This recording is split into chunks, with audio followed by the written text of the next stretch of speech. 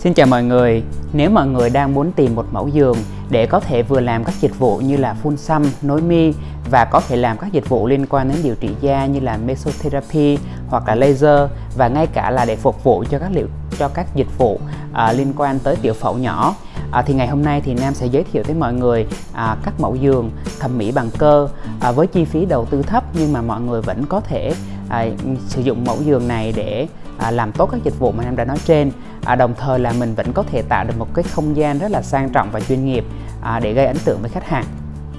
Mẫu giường tiếp theo mà Nam sẽ giới thiệu với mọi người có mã là 626A thì mẫu giường này bề ngang có kích thước rằng là 60 à, nếu mọi người mà tính luôn cái hai cái phần tay này thì bề ngang của nó là 80 và chiều dài tổng thể của giường là 1m75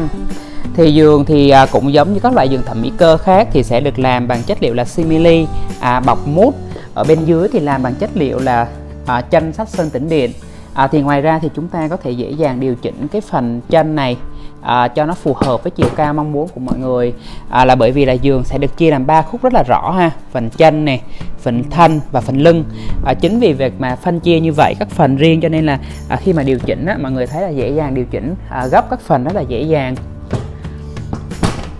à, giường sẽ được trang bị một cái gối như thế này à, mọi người có thể là lấy ra và để vào tùy thuộc vào cái